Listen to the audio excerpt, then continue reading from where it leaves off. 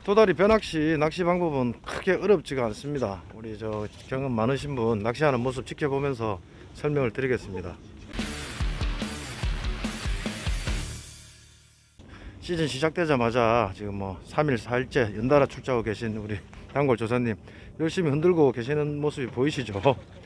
예, 도다리 벼낚시는 봉돌이 바닥까지 가라앉힌 다음에 봉돌이 닿은 상태에서 가볍게 지금 이렇게 우리 전문 조사님 하시는 것처럼 가볍게 10에서 20회 어, 흔들어 주신 다음에 바닥하면 네, 천천히 들면서 입질을 유도하는 거죠.